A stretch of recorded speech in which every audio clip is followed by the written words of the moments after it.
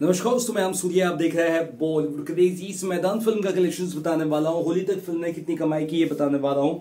तो इस वीडियो में आखिर तक बने रहेगा बहुत दिन से मैं आपको मैदान का कलेक्शंस नहीं बताऊँ लेकिन अब मैं आपको मैदान का कलेक्शंस बताने जा रहा हूँ, क्योंकि ये कलेक्शन काफ़ी जानदार, शानदार, ज़बरदस्त है। और यहाँ पे अजय देवगन की फ़िल्में धीरे धीरे से ही लोगों को ये बता दिया है कि अजय देवगन से अच्छे कंटेंट ड्रिवन एक्टर कोई नहीं है। जी हाँ दोस्तों दो हज़ार चौबीस में भी अपना अब बोलते ना एकदम स्वैग में नज़र आ रहे हैं यहाँ पे अजय देवगन सर। और अजय देवगन सर की फ़िल्म का कलेक्शन शैतान का कितना हुआ है अठारह दिनों का वो आपको बताने वाला हूँ। वैसे आ, वैसे कल उन्नीसवा दिन भी चला गया आज बीसवा दिन है। लगभग उन्नीसवें दिन तक का कितना हुआ होगा वो भी मैं बताने की कोशिश करूँगा तो इस वीडियो को आखिर तक देखते रहेगा इससे पहले कि आगे बढ़ो अभी तक आपने अगर इस चैनल को सब्सक्राइब नहीं किया है तो आपको पता है आप गलती कर रहे हैं। चलिए शुरू करते हैं। पहले वीक तक का कलेक्शन था 81.60 करोड़, इक्यासी करोड़ 60 लाख। सेकेंड वीक तक खत्म होते होते कलेक्शन जाके पहुँचा 117 करोड़, अड़सठ लाख 117.68 करोड़ तक का कलेक्शन आया दोस्तों। और दूसरे वीक की बात करें तो दूसरे वीक में 35 से 36 करोड़ तक का कलेक्शन हुआ है। और दो वीक में टोटल हुआ चौदह दिन के बाद 117 करोड़, अड़सठ लाख 117.68 करोड़। उसके बाद आ गया थर्ड फ्राइडे जहाँ पे फ़िल्म ने 2.52 करोड़ की कमाई की, ढाई करोड़ के आसपास की 2.52 करोड़। उसके बाद सैटरडे जो इसका सोलहवा दिन था थर्ड वीक का सैटरडे उस दिन फ़िल्म ने कमाई की 4.57 करोड़। और संडे को फ़िल्म ने बढ़िया कलेक्शन करते हुए 4.11 करोड़ की कमाई की। नॉर्मली सैटरडे से ज़्यादा संडे को कलेक्शन आता, लेकिन संडे होली का जो ईव था, वो वाला दिन था, यानी कि होली का दहन का दिन। तो उस दिन रात को लोग घर पर रहना पसंद करते हैं।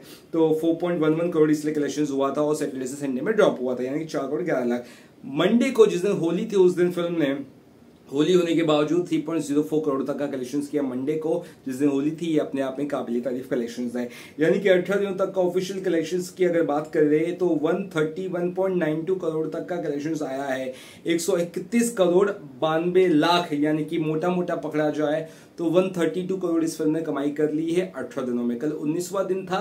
कल का जो कलेक्शन अभी तक आया नहीं है, लेकिन किसी भी हाल में वो एक करोड़ के ऊपर ही होगा। यानी कि एकदम बेसिक से भी बेसिक बात कर ले तो 133 करोड़ इस फ़िल्म ने कमाई कर ली है। पहले 19 दिनों में ये बात 16 आने सच है, अब यहाँ पर से फ़िल्म एक एक चीज़ साफ़ है कि और इसे सत्रह करोड़ कमाने हैं 150 करोड़ के क्लब में पहुँचने के लिए। और मेरा ऐसा मानना है, इस फ़िल्म के पास इतना टाइम ज़रूर है क्योंकि कोई फ़िल्म चल नहीं रही है। और अभी जो अगले हफ़्ते जो फ़िल्म आने वाली दो दिन बाद, वो है कॉन्ग वर्सेस गॉडजिला उस तरह कुछ फ़िल्म आ रहा है। वो भी बड़ी फ़िल्म है नो डाउट लेकिन हिंदी मार्केट में जो ऑडियंस है, इस फ़िल्म को थिएटर में ज़रूर देखना पसंद करेंगे और मेरा ऐसा मानना है, सत्तर करोड़ और ये फ़िल्म कमाई करेगी, क्योंकि ये जो वीक खत्म हो उसके बाद जो वीकेंड होगा, उसके बाद का जो वीक होगा, यानी कि चौथा वीक उस दिन फ़िल्म का एक्चुअल दम देखने को मिलेगा और मुझे लगता है लॉन्गर दिन में एक सौ पचास करोड़ फ़िल्म कमाई कर लेगी, जो अपने आप में बड़ी बात है। फ़िलहाल ये फ़िल्म सेकेंड हाइस्ट ग्रॉसर बन चुकी है दो हज़ार की। अगर हम छोड़ दे फाइटर को। और फाइटर एक हैवी बजट की फ़िल्म थी और वाकई में एक बड़ी ब्लॉकबस्टर हिट अगर किसी फ़िल्म को टैग मिलना चाहिए तो मुझे लगता है इसको मिलना चाहिए और 150 करोड़ होने के बाद मुझे लगता है ये टैग मिल जाएगा। इसको चलिए फाल करते हैं।